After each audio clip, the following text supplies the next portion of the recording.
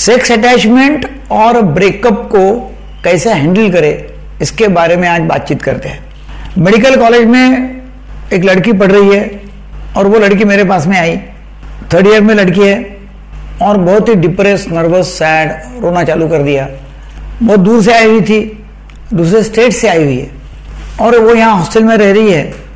और उसको भी ये प्रॉब्लम हो गया है कि एक लड़का उसके कॉलेज का जो फोर्थ ईयर में उसके साथ में उसका उसकी दोस्ती हो गई थी, उसका अटैचमेंट हो गया, उसका फ़िज़िकल रिलेशनशिप हो गया।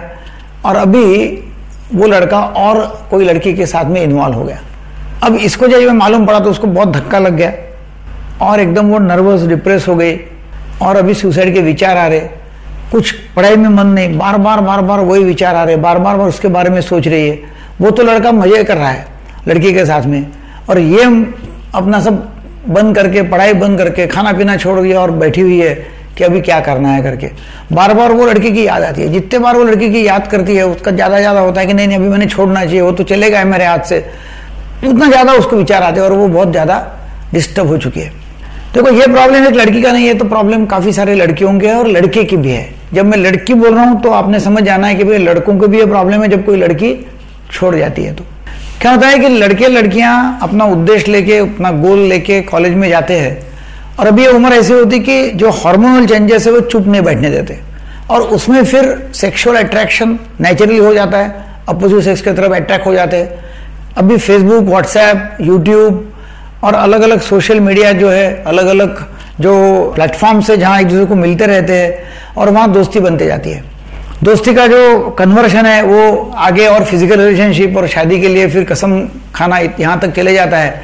और फिर कोई रिलेशनशिप स्टेबल रहेंगे, ऐसा कुछ नहीं है। और कोई मिल गया तो वो ब्रेकअप हो जाता है और वो कहीं चले जाती है। तभी ऐसे इसमें करना क्या है? मैं अभी वो लड़की को ये बताया कि देखो, आप अकोला में आई।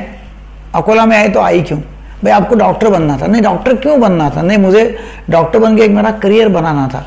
बहुत बड़ा नाम करना था। अब जब उसके लिए आप यहाँ आई अकोला में, उसके लिए मेडिकल कॉलेज में एडमिशन लिया, क्या आपने इसके लिए एडमिशन लिया कि भाई अभी लड़के के साथ में मैं अभी इन्वॉल्व हो जाऊँ, उसके साथ में इमोशनली इन्वॉल्व होकर अभी मैं मेरा मतलब जीवन बर्बाद करूँ और वो भी छोड़ के गया तो अभी सुसाइड करूँ इसके लिए आई हुई है? तो एक फ़िज़िकल रिलेशनशिप के लिए क्या होता है कि लड़के लड़कियाँ फ़िज़िकल रिलेशनशिप में एक दूसरे के आ जाते हैं। और जब फ़िज़िकल रिलेशनशिप में आते हैं तो बहुत ज़्यादा डीप इन्वॉल्वमेंट हो जाता है और फिर एक दूसरे को छोड़ना बहुत मुश्किल हो जाता है। जब तक फ़िज़िकल रिलेशनशिप नहीं है और दोस्ती है, तब तक तो छोड़ना आसान हो जाता है। जब जब मेरे पास में लड़के लड़कियाँ आते हैं या पेरेंट्स आते हैं उनकी कि मेरी लड़की वो लड़के को छोड़ नहीं रही है या लड़का, लड़की को छोड़ नहीं रहा है, वो तो कोई भी हालत में तो उसके साथ में रहूँगा, शादी करूँगा, ऐसा बोलता है। मैं उनको पहले सवाल करता हूँ, क्या उनकी फ़िज़िकल रिलेशनशिप हो चुकी है क्या? और ज़्यादातर यही उसका जवाब मिलता है कि हाँ वो फिजिकली इन्वॉल्व थे, है छोड़ नहीं सकते। हैं तो एक फ़िज़िकल रिलेशनशिप के लिए देखो, एक शारीरिक आकर्षण सेक्सुअल अटैचमेंट के लिए अपना जीवन बर्बाद कर देते लोग। देखो, वैसे तो शरीर की जो भूख है, वो तो शराब से भी ठीक हो जाती है। स्मोकिंग करते उससे अच्छा लगता है। सेक्स किया तो अच्छा लगता है। मगर क्या ये शारीरिक जो भूख है, वो हरदम के लिए रहने वाली है? बिल्कुल नहीं है। ये शारीरिक भूख जो है, वो तो एक रात के लिए होती रहती है। दूसरे दिन फिर भूख लग जाती है। सेक्स का वैसे ही है। कि खाना खाने का मतलब पेट की जो भूख है दिन फिर भूख लगेगी सेक्स का वैसे है कि वो कभी नहीं हटने वाली भूख है, वो चलने वाली है। तो फिर क्या उसके पीछे हमने अपना लाइफ बर्बाद कर देना है क्या? हमने हमारे जो गोल्स है, हमारे जो लक्ष्य है, हमारा जो उद्देश्य है, उसको बाजू में रख के क्या हमने हमारा पूरा बर्बाद करना क्या अटैचमेंट में?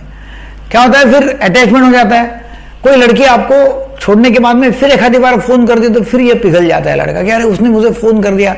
चलो फिर से मैं उसके साथ में दोस्ती कर सकता हूँ क्या? उसने तो छोड़ दिया था। कुछ छोड़ नहीं दिया था। मतलब उसने आपको छोड़ भी दिया होगा या फिर से वो फ़ोन करती होंगी। तभी ऐसे कि वो नए दोस्त के साथ में या नए बॉयफ्रेंड के साथ में अभी वो तंग आ चुकी हो। तो टाइम पास करने के लिए हो सकता है कि आप, आपको उसने फ़ोन किया होगा। तो वो आपको घुमा रही है। वो आपको अटैच रख रही है। वो आपको मतलब ऐसा घुमा के बस बता रही है कि मैं आपके साथ में भी हूँ और कभी भी आपके साथ में दोस्त कर सकती हूँ। आप अपना टाइम फालतू वो लड़के के पीछे घमा रहे मैं जब बोलता हूँ तो दोनों के लिए लागू है, लड़के, लड़कियाँ। ऐसा नहीं कि सिर्फ़ लड़के के लिए है या लड़की के लिए है। तो अभी हमको ये देखना है कि भाई हमारा यदि बड़ा गोल रहा, बड़ा उद्देश्य है, बड़ा पर्पज है तो वो फुलफिल करने के लिए जो मुझे करना है, करना चाहिए। आप जब भी कभी एक्टिविटी कर रहे हैं, जो भी कुछ कर रहे हैं, जहाँ भी, जिसके भी साथ में आप है, अपने आप को सवाल करो कि मैं जो एक कृति कर रहा हूँ, ये जो एक्शन ले रहा हूँ, क्या एक्शन मेरे गोल की तरफ़ मुझे लेके जा रही है? क्या गोल से दूर लेके जा रही है? आपको उसका जवाब मिला कि ये मेरी एक्शन गोल से दूर लेके जा रही है तो एक्शन मत करो। गोल के तरफ़ लेके जा रही है तो वो एक्शन करो। सिंपल फॉर्मूला है। तो फिर ये यदि आप करते हैं तो डेफिनेटली ये सेक्सुअल अटैचमेंट या ब्रेकअप पैचअप या ये चक्कर में आपका लाइफ आप खराब कर रहे हैं, आपका जीवन खराब कर रहे हैं, आपकी ज़िंदगी खराब कर रहे हैं, आपके गोल्स जो है वो मिट्टी में मिल जाएँगे। और आपका लाइफ बर्बाद हो जाएगा। कितने सारे बच्चे कि मेडिकल में बहुत ताकत से बहुत पढ़ाई करके एडमिशन लेते हैं और बाद में फिर पास भी नहीं होते। कितने सारे अटेम्प्ट लेते हैं और बाद में मेडिकल कॉलेज छोड़ देते हैं। तो ऐसा, ऐसी बारी ना आने के लिए आपको ये देखना है कि भाई मेरा जो गोल है, मेरा जो पर्पज़ है, अंतिम जो मेरा उद्देश्य है लाइफ का वो मुझे पूरा करना है और वो है कि भाई मैंने कुछ तो भी लोगों के लिए करना है। अपना करियर करना है, अपना लाइफ अच्छा करना है। तो फिर ये छोटी छोटी बात के ऊपर आप अटैच नहीं होना है। वीडियो आपको अच्छा लगा तो सभी बच्चों को, सभी कॉलेज के लड़कों को ये स्प्रेड करो, ताकि लोगों में इसका अवेयरनेस हो जाएगा और वो एक अच्छे देश के नागरिक बन पाओगे। Thank you very much